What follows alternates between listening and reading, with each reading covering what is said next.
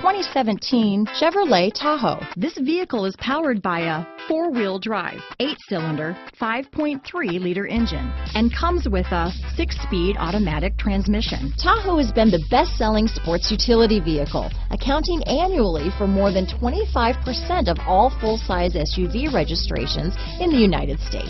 Here are some of this vehicle's great options. Four-wheel drive, remote vehicle start, cargo net, rear view camera, luggage rack. Is love at first sight really possible? Let us know when you stop in.